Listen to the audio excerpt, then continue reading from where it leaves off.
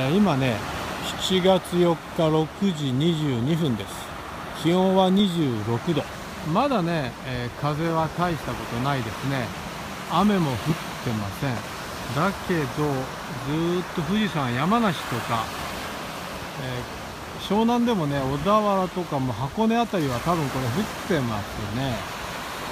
太平洋の沖の方にもね少し、えー、雲が大島の上空にも、え雲がありますね。おそらくねあと1時間もすればこの辺も土砂降りになるんじゃないかな。きっと。今ね風のブラインドにいるんですけどまだねさほどこの辺は、え、風は強くありません。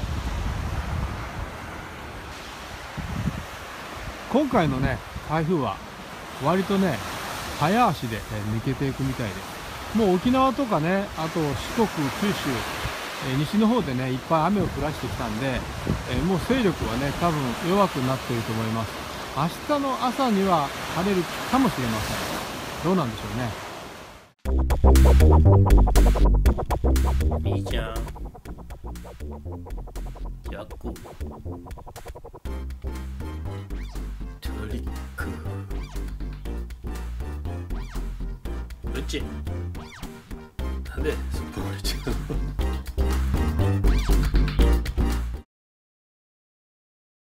う。にゃんにゃん。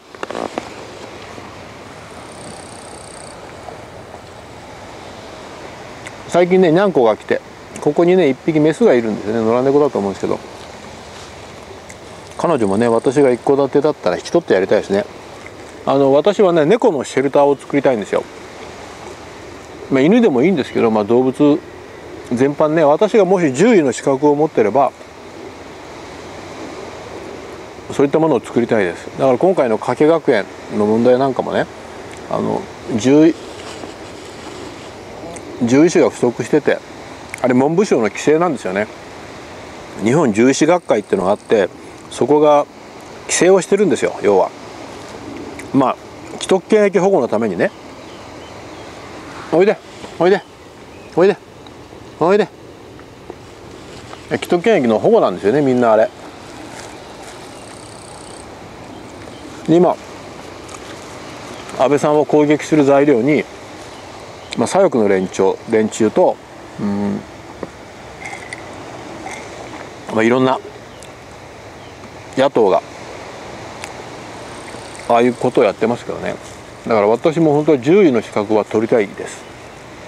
でもし私が獣医の資格を持ってればどっかね、えーと、海辺に土地を買って、うんと、そこを周りをねあの囲んで二重でねあのジュラシックジュラシック・パークみたいにゲートを作ってそこでねあの野良猫とか、まあ、野良犬まあもう今野良犬っていないですけどねそういうのもね、え引き取ってで面倒見てやりたいんですよね。結局野良猫って言っても今はもう車にひかれちゃいますよね。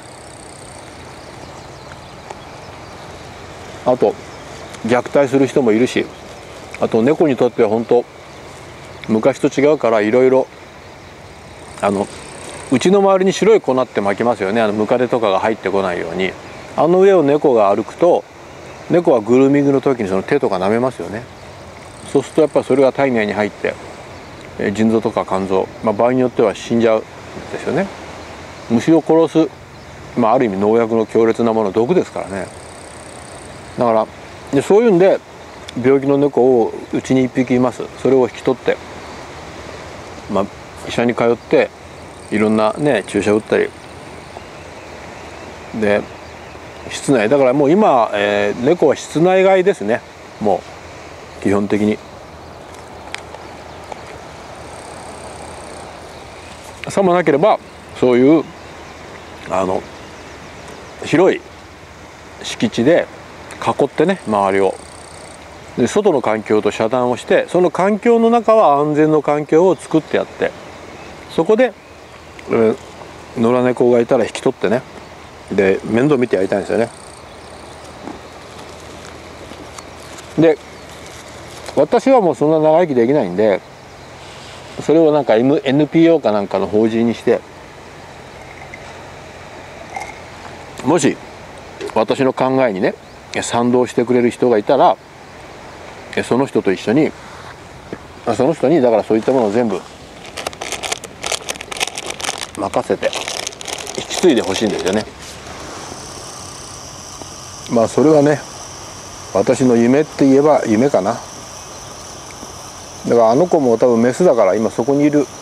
この子もメスですね。で多分今妊娠してますね。で、まあ、本能で、ね、生きてますからもちろん妊娠をして。で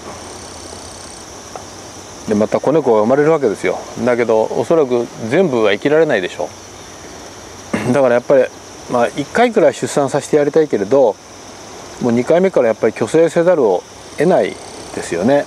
だからそういうことでよく分かってない人があのね猫の幸せで虚勢するのが幸せかどうかってそういうこと言う人いるんですけどもうあの虚勢はねせざるを得ないですよね。あの今そういったことなんでね。だから中に1匹か2匹何匹も100匹ぐらいいたらねまあ、1匹か2匹は虚勢しないで産ませてやってもいいと思うけれど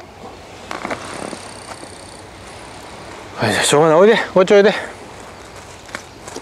で猫にマスタードって本当よくないんだけどな。でも今日このサンドイッチは猫ちゃんにあげよう。ね。マスタードお前平気か？よくないと思うけどな。まあでも死な死にはしないと思うから。今日はねこのサンドイッチはこの猫ちゃんにあげましょう。はい。はい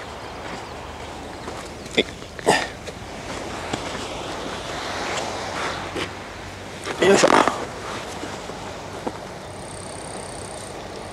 まあね赤ちゃんがお腹にいるからたくさん栄養つけないとね。だからああいうのを見るとねあの家に連れて帰ってやりたくなっちゃうんですよね。実は。もうあれあの子は妊娠してますね。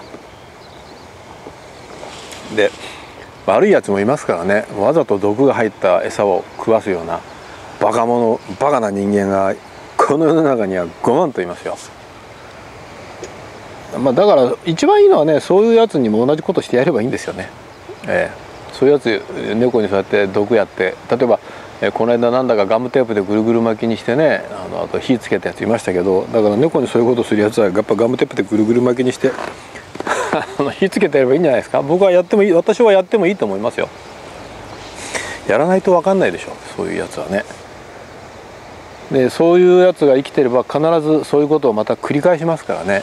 そういった連鎖を断ち切るにはやっぱ同じことをしてこれはやっぱりイスラムの教えでね目には目をっていう。そういう教えでいいと思います。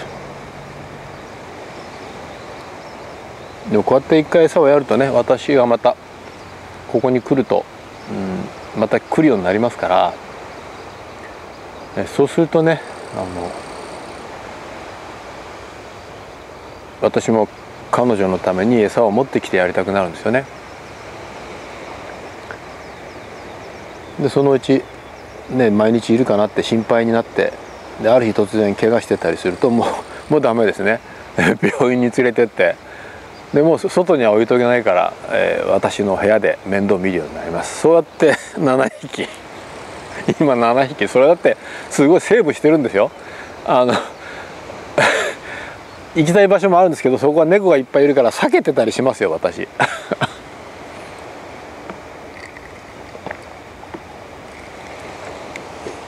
だからね辛いんですよね。だからそういった猫のシェルターをね私は作りたいんです。前々からそう思ってて。人にもそう言ってるしね。でもその前にねやっぱり借金返して自分の生活を立て直さなきゃいけないんで今それどころじゃないんですよね。まあ頑張ります、まあ、今日はちょっとそんな話でね、えー、あとね実はうんとこの後ある撮影したいものがありましてえー、それはねこの後ひょっとしたらここで動画を撮ってでまたね別の動画でね、え、ご紹介できるかもしれません。あのキャンプグッズです。あのいろいろね最近私も、えー、まあお金にできるものはお金にしなきゃいけないんでね。あの押し入れの中からいろんなものを出してきて。であとこうやってね実は動画を撮っていると、まあ、あるいらないものをね私の知り合いがねくれたりしてそんなものもあったりして。で、まあ、その中でキャンプグッズただ私の使ってるものは古いものが多いので例えばこれもそうなんですけど今時も流行んないですよねこんな、え、ガソリンコンロなんて。今みんなガスでやりますから。だけどあのまあこれはこれでねやっぱり使い勝手は面倒くさかったりしますけどでも味があるんですよね、まあ、そういったものもねキャンプグッズで。決して役に立たない、えー、キャンプ道具だったり役に立たないキャンプ動画 で私なんかよりヒロシとかねそういう人のヒロシ君とかねそういう彼あとも秋葉さんとかねそういった人の動画を見てもらった方が全然もっと他にもいらっしゃいますよねキャンプの動画たくさん上げておられる方は。そういう人の動画を見てもらった方が全然ためになりますけれどね。あのまあでも私は私のね動画を上げられればいいと思うしバナナあったんですね。さっきねなんか虫が来てて、ね、危なかったですね、えー、ではいただきます。うきゃあこれうきゃ？うき？っていうのが。パーマン2号でしたっけね。今回だからあの歯の具合がおかしくなって何にも食えなくてバナナだけは食ったんです。確かねあまりにお腹が空いて。お腹は空いてなかったかな。あれバナナもバナナ少し良くなって何も食べるものがなくてバナナ食べたんだ。バナナって偉大ですよね。あのうちの親父がよく言ってました生前。戦争で親父は中国にいたって言うんだけどあんまり親父の戦争の話ってあんまりよく私も小さかったから聞かなかったけどどっか島にもいたみたいですよ。でその時にあの上上官からね、うんと、ココナッツは、えー、食べてもいいと。だけどバナナはたくさん食べると、えー、下痢するから、えーと、と1本か2本にしとけって言われたとかって言ってましたね。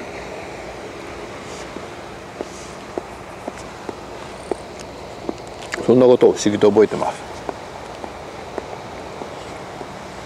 今度お前お魚持ってきてやるよ。キャットフード。ねマスタード入りのサンドイッチじゃな。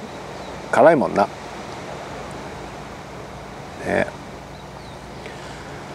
え。ー、まあ今日はそんなわけで。ねとうとう日が差すようになりました。今日は暑くなると思いますよ。